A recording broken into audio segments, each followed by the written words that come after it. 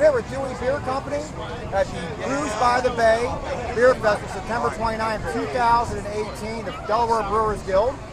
I'm here with Devin, who's a brewer at Dewey Beer, Beer, no, Dewey Beer Company.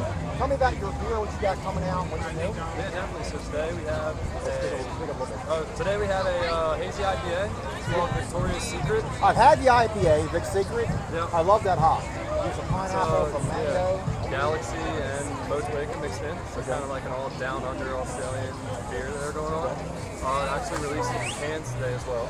Okay. And then in terms of our sour, our other beer we have on, it's a double sour fruited.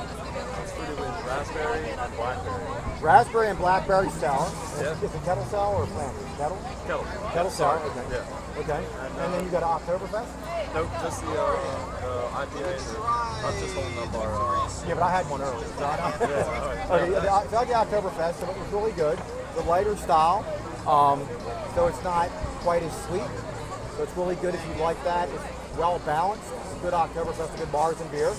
And you guys got a lot of stuff going on at the brewery by Dewey Beach, right? yes, yeah, right in town Dewey Beach, right across from the Starboard. That's usually what people know the best. Okay. Hopefully it's going to be us here soon.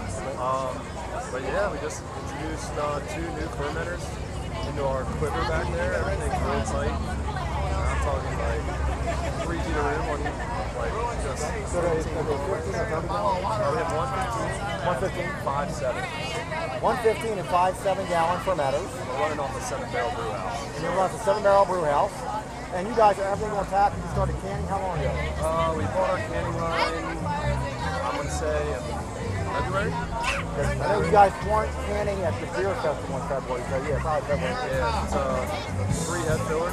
Awesome. So you guys sell it out of your, out of your brew house? We do, yeah. So we have three beers usually every two weeks. We'll do. We usually do a sour and IPA, sometimes two sours or two IPAs and a sour. We have a stout. Trying to get on the fall trend here. So this is a good stout. What kind of, what kind of stout is it? Is it, um, It's called a Dolly Bar Stout. So we put in butterscotch, um, graham cracker. butterscotch, graham cracker, Let's see what else. There's a bunch of. Uh, chocolate. chocolate, Oh. Oh, God, I can't remember. I'm on the spot now. I can't remember. We just did it all coffee yesterday. maybe? Not coffee. Oh my goodness. Wow, Raspberry. It's really good. It's, it'll be on tap. Uh, So kind of like a s'mores almost, like a s'mores stout. Kind of. Okay, But without the marshmallow, but uh, it's really good. We just uh, canned it yesterday. We did about uh, six- 50 cases of it. Oh wow. So yeah. So you get the opportunity to check out Dewey Beer Company. I'll put a link to them in this review. You can check it out on my channel, also shortcraftbeer.com. Have an awesome day, guys.